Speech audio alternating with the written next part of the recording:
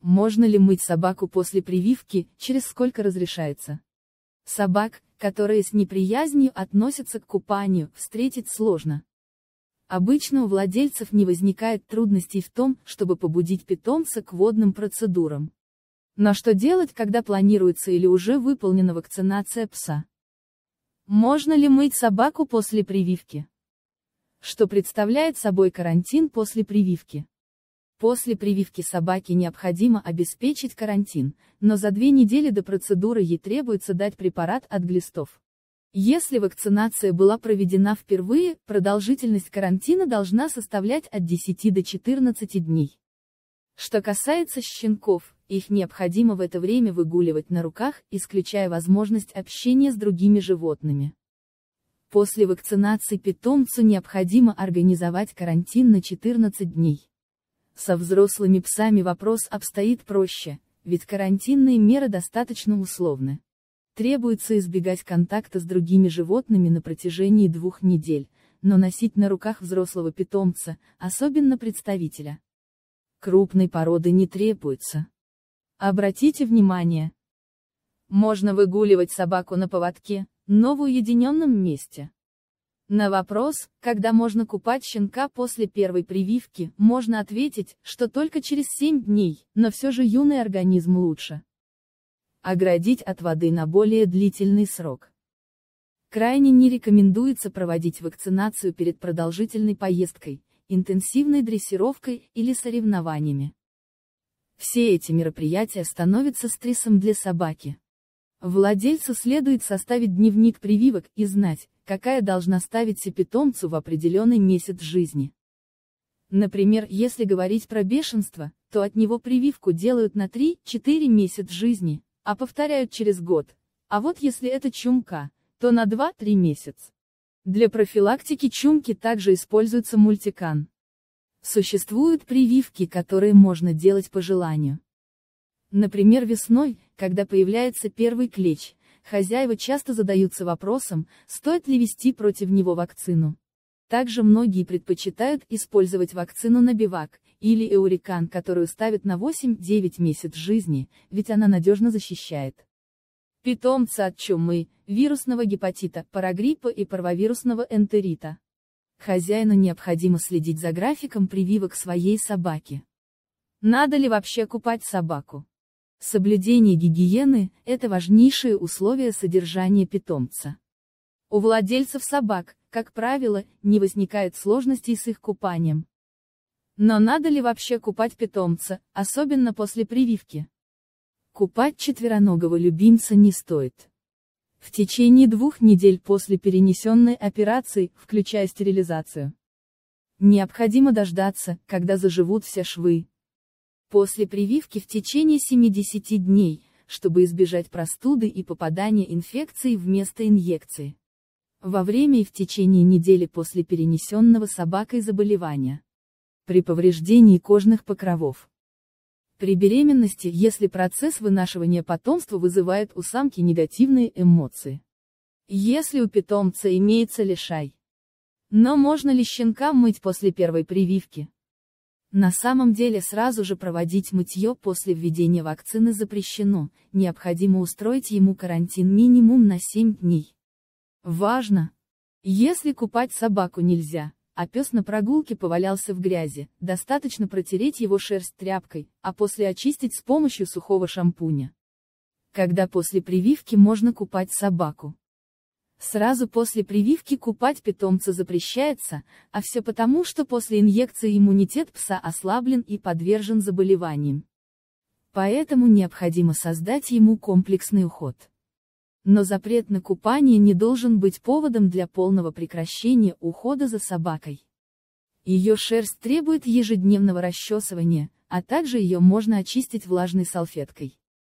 Продолжительность карантина составляет в среднем 14 дней, но приступать к купанию разрешается уже через 7-10 дней. Хозяину, который сомневается и не решается проводить водные, домашние процедуры, стоит обратиться к ветеринару, который точно ответит. Можно ли купать собаку после прививки или скажет, сколько еще требуется времени выждать. Выжидать карантин необходимо для здоровья питомца. Процедура купания шаг за шагом. Купание питомца не терпит спешки и суеты. Если четвероногий друг почувствует неуверенность в своем хозяине перед процедурой, до волнения и сопротивления избежать не удастся. Особенных требований, которые надо соблюдать при купании нет, существует только ряд простых правил, которые облегчат задачу владельцу. Как правильно, при какой температуре. Перед купанием для удобства обустраивают ванную. Например, в пределах вытянутой руки ставят шампуни. Если в помещении холодно, то его предварительно необходимо прогреть. Температура воды должна быть до 37 градусов, если пса купают в емкости с водой, а если же под душем, то не более 42 градусов. Длинношерстные породы, например, баллонку перед купанием обязательно надо расчесать, чтобы шерсть не спуталась в процессе намыливания шампунем. При обнаружении свалявшихся комков их следует состричь. Щенков и маленькие породы собак купают в тазу или в раковине. А вот средних и больших питомцев можно купать в ванной. Чтобы питомец твердо стоял на ногах, на дно кладут махровое полотенце или специальный прорезиненный коврик. Если пес купается неохотно, то хозяину лучше надеть на него намордник. Перед купанием тщательно надо намочить шерсть, при этом необходимо избегать попадания воды в уши и глаза. Лучше всего принять меры и обеспечить защиту слизистых покровов животного. Далее шампунь наливают на ладони и разбавляют небольшим количеством воды. Затем его равномерно распределяют по телу животного и вспенивают. Затем необходимо аккуратно смыть шампунь. Так как подшерсток у питомцев довольно густой, то смывать надо достаточно долго и тщательно.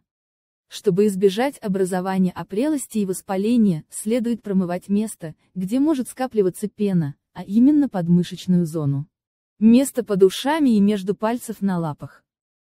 Чтобы питомец привык к процедуре и она стала приносить ему удовольствие, по ее окончании можно угостить пса лакомством.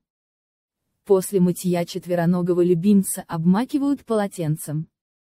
Короткошерстных особей можно растереть полотенцем, против шерсти, а длинношерстных высушить феном.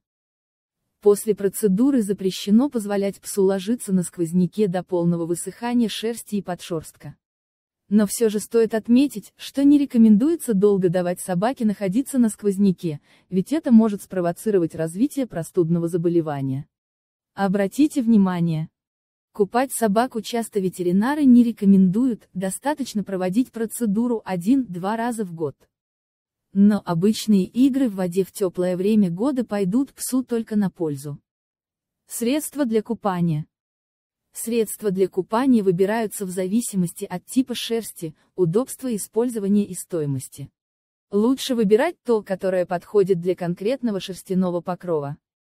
В зоомагазинах продают как обычные, так и сухие шампуни. Наиболее популярными среди сухих шампуней считаются Petaslab, Pet Head, Trixie и другие. Среди обычных Чистотел, Доктор Зу, Арава для щенков и другие. Но следует отметить, что каким бы качественным не был подобранный для четвероногого любимца шампунь, использовать его регулярно не рекомендуется. Моющие средства, при постоянном использовании могут спровоцировать появление перхоти зуда. Важно! Собачка в ванной должна промываться только средствами, предназначенными для животных. Обычный шампунь, который использует человек, собаке не подходит. Наблюдение за собакой после вакцинации.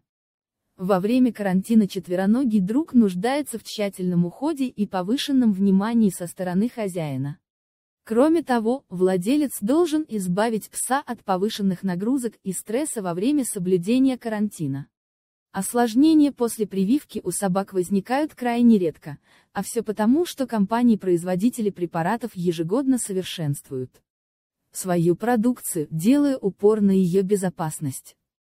Но все же у питомца после введения вакцины может возникнуть аллергическая реакция на компоненты вакцины. Проявляется она в виде общей слабости, небольшого увеличения температуры тела, но иногда имеет и тяжелые последствия в виде анафилактического шока. Важно! Если пес ведет себя непривычным образом, отворачивается от пищи, его дыхание затруднено, у него повышено слюноотделение, это повод для срочного обращения к ветврачу. После введения вакцины, хозяину необходимо создать спокойные условия для своего любимца. Возможные осложнения после прививки. Карантин после вакцинации необходим еще и для того, чтобы вовремя оказать питомцу первую помощь при негативной реакции на введенный препарат. Стоит помнить, что на медикамент животные, как и люди, могут реагировать абсолютно по-разному. Редко когда вакцинация не дает осложнений. Чаще всего в месте укола образуется припухлость, также может появиться покраснение или высокая температура. Если данные симптомы проявляются в течение недели, то они считаются нормой. Также возможны и другие осложнения, которые не должны вызывать паники у владельца.